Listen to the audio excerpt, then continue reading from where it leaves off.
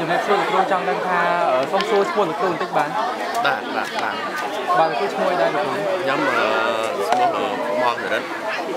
ទូនទីរបស់ខ្ញុំខ្ញុំជាជានាយកអនុវិទ្យាល័យនៅប្រែកស្វាយនេះនៅទីនេះគឺមានបតីផងមានបឋមផងមានអនុផងបតីមាន2ថ្នាក់ហើយបឋមមាន6ថ្នាក់ហើយអនុវិទ្យាល័យមាន3ថ្នាក់សរុបមកសិស្សអនុមាន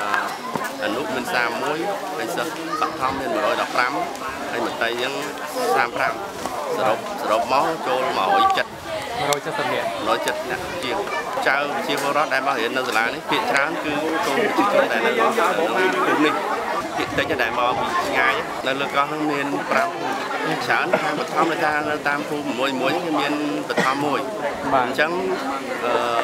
សិស្សបឋមគេនៅរៀនតាមភូមិមួយមួយ ហ្នឹងបាទតែឡែកនៅភូមិបែកស្វាយយើងនេះជាភូមិដែលចាស់ជាងគេអញ្ចឹងមានអនុមានអនុអញ្ចឹងបាទអញ្ចឹងអឺដូចនៅកោះតូចនៅ93អីចឹងជួនកាលកូនគេដល់ដល់អនុអញ្ចឹងគឺមានបងប្អូនគេនៅកំពង់សោមហ្នឹងគេញ៉ានៅក្នុងគេច្រើនគាត់ដើរដើរមក គាត់ដើរមកអញ្ចឹងគាត់ដើរមកគាត់វិចបាយមកវិចបាយមកហើយគាត់ហូបនៅផ្ទះអ្នកគ្រូពីពីរនាក់3នាក់គាត់ហូបហើយដល់ល្ងាចបានគាត់ទៅវិញនាងគាត់3នាក់2នាក់3នាក់គ្រូអនុមាន3នាក់ហើយបឋមមាន4នាក់ហើយមន្ត្រីមាន2នាក់គ្រូអនុនេះគឺគាត់ស្ម័គ្រចិត្តពីកំពង់សោមគ្រូសោមកបាទហើយខាងបឋមនេះគាត់មានលំនៅផ្ទះគាត់នៅនៅឋានគាត់នៅហើយខាងមតីអឺគ្រូ2នាក់គាត់ស្ម័គ្រចិត្តអឺ របស់អង្គការ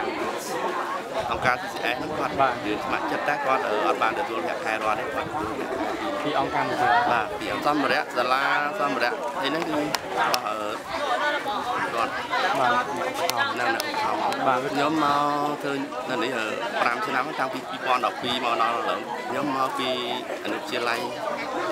ដាច់ឪ បាទខ្ញុំស្ម័គ្រចិត្តមករៀននៅកោះយប់អីសពរដ្ឋជនផ្ទះនៅវេនជួលផ្ទះមួយអានៅនេះអញ្ចឹងដូចគេថាគេថាថាឥឡូវគេហៅត្រូវហៅប្រជុំហៅអីចឹងអញ្ចឹងមួយខែខ្ញុំអាចទៅ2ឬ3ដងបើការងារចាំបាច់ទៅអាចទៅដល់4ដងបាទខែចង់ស្គាល់ខ្ញុំអត់បើចង់ស្គាល់ចូលរួមលេងជាមួយនឹងនាងខ្ញុំទាំងអស់គ្នាណា